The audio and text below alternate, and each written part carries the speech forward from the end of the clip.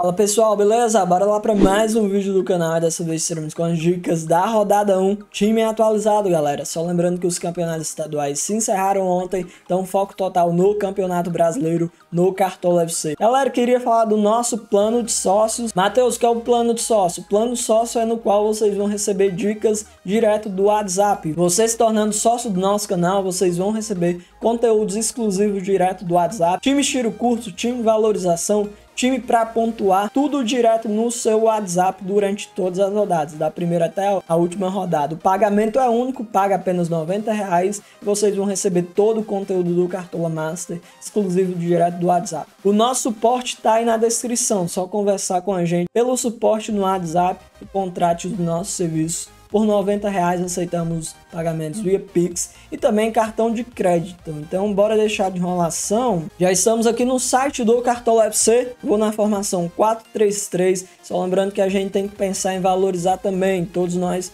começamos com 100 cartoletas, mas o principal objetivo é ganhar cartoletas nessa rodada 1. Então, vamos começar montando nosso time pelos atacantes. Ó. Vamos cartas de jogadores caros. Primeiramente, eu vou com a dobradinha da equipe do Coritiba, tanto o Léo Gamalho como o Aleph Manga, galera. O Aleph Manga e o Léo Gamalho vejo com bons nomes. O Coritiba vem com um ataque fulminante, marcando muitos gols, e tanto o Aleph Manga como o Léo Gamalho vem se destacando. Por isso que eu decidi escalar os dois, acreditando que o Coritiba seja favorito contra a equipe do Goiás, que não fez um campeonato goiano tão bacana. Por isso que vamos com Aleph Manga. Aleph Manga é um jogador de velocidade. Já o Léo Gamalho, galera, é o centroavante, o goleador do time e cobrador de pênaltis. Pretendo no favoritismo do Coritiba decidir ir com os dois. Vejo com bons olhos também o cano atacante da equipe do Fluminense. O Fluminense vem num momento muito bom, ao contrário do Santos, que não se classificou nem para a fase qualificatória do Campeonato Paulista. Então, Acho que o Cano tem tudo para mitar, mas o nosso último atacante é o Hulk. O Hulk precisa de 6,5 para começar a valorizar, mas acredito que ele vai atingir sim, galera, essa meta de pontos, já que a equipe do Inter vem muito mal e o Galo vem muito bem. O Hulk é o artilheiro do time nessa temporada. Outras boas opções é o Caleri, galera, tá custando 12 cartoletas, vejo como uma ótima opção. Outro jogador muito bom para a rodada é o Renato Kaiser custando seis cartoletas. Acredito que o Fortaleza seja favorito contra o Coritiba. E também é um bom nome, porém acho que ele não vai começar como titular. É o Luiz Henrique, porque nas últimas rodadas da equipe do Fluminense ele começou no banco e entrou apenas no segundo tempo, mas vejo com bons olhos também. Montamos o nosso ataque por enquanto com a dobradinha do Coritiba, Alif Manga e Léo Gamalho e o Ru da equipe do Galo. Agora vamos aqui para o nosso meio campo, galera. O Veiga seria uma ótima opção, porém a gente tem que se lembrar da valorização. Então, pelo Veiga tá muito caro, não vamos com ele. Vamos descer aqui embaixo e escolher outras opções. Vejo o Iago Pikachu como uma excelente escolha, custando 10. Também vejo que o Gustavo Scarpa, ele vai estar no meu time, cobrador de bolas paradas do Palmeiras, e o Palmeiras é muito favorito aqui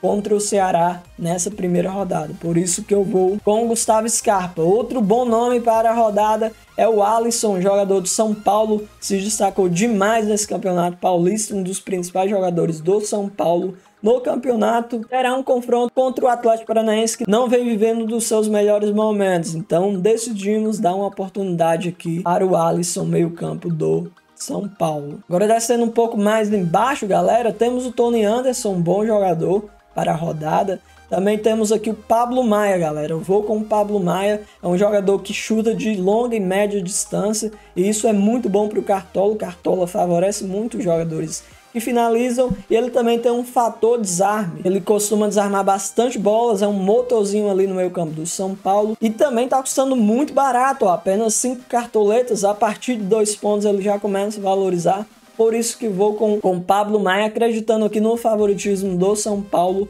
contra a equipe do Atlético Paranaense. Agora vamos aqui para as nossas laterais. Nas laterais, para mim, as duas melhores escolhas são o Calegari do Fluminense. Acredito que o Fluminense vai sair com esse jogo aqui contra o Santos.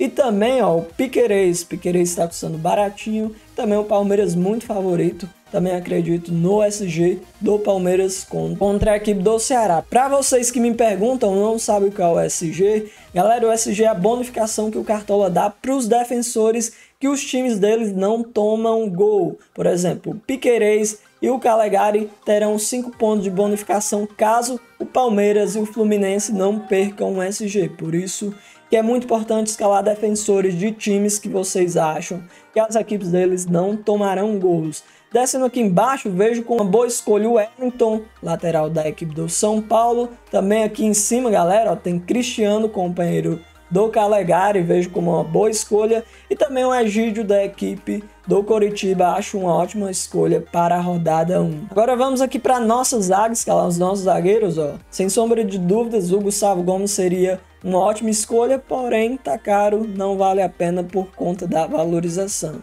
Bora descer aqui, ó, vamos escalar o Murilo. Murilo tá custando 8 cartoletas e eu acho que o Palmeiras mantém o SG nessa primeira rodada, galera. Palmeiras muito favorito contra o Ceará. O Palmeiras no setor defensivo é muito forte quando atua no Allianz Parque. Por isso, e vamos com o Murilo. Uma ótima escolha aqui o David Braz, da equipe do Fluminense. Tem lei do ex aqui. Uma ótima opção aqui para a rodada é o Sebadios, jogador da equipe do Fortaleza, que terá um confronto contra o Cuiabá. Fortaleza consegue manter o SG aqui nessa partida. E o Sebadios, ó, tá custando apenas duas cartoletas, galera. Então vai valorizar com certeza. Vejo como uma excelente escolha para essa rodada. E agora vamos escalar aqui o nosso goleiro. O goleiro também será do Fortaleza pelo preço, custando apenas duas cartoletas. É o goleiro Max da equipe do Fortaleza, ó. Escalamos dois defensores do Fortaleza, ambos são muito baratos e consequentemente vão valorizar, acreditando que o Fortaleza vai manter o SG contra o Cuiabá. E agora é hora de escalarmos o nosso técnico. E para o técnico, galera, eu vou com o técnico aqui do Coritiba, tá custando apenas quatro cartoletas eu acho Coritiba muito favorito contra a equipe do Goiás. Agora é hora de escalarmos o nosso capitão e vamos com o Hulk. Vamos com o Hulk capitão, que dentre o jogador que eu escalei, acho que ele tem o maior potencial de pontuar e, consequentemente, sendo nosso capitão, terão os pontos dobrados. Nosso time custou 78 cartoletas, galera. E vamos assim, ó, Aleph Manga, Hulk de capitão. E o Lau Gamalho, Gustavo Scarpa, Pablo Maia e o Alisson, Calegari, Murilo, Sebadios e o Piquerez, o Max e o técnico Gustavo. Nosso time custou baratinho, ó, 78 cartoletas e ainda sobrou 22. Eu não utilizei 100 porque a gente tá pensando apenas em valorizar. Ó, galera, para mais dicas me sigam aqui no Instagram Cartola Massa. O link está aí na descrição do nosso canal. E muito obrigado por vocês